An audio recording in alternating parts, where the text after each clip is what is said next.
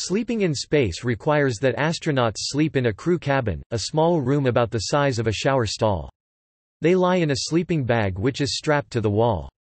Astronauts have reported having nightmares, dreams, and snoring while sleeping in space. Sleeping and crew accommodations need to be well ventilated, otherwise, astronauts can wake up oxygen deprived and gasping for air, because a bubble of their own exhaled carbon dioxide had formed around their heads.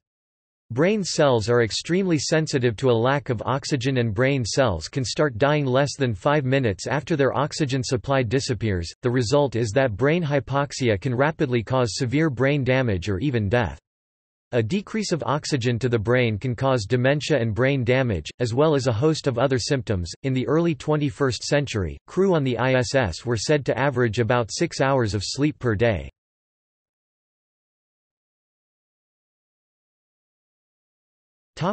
See also. Fatigue and sleep loss during spaceflight. Mir hashtag sleeping in space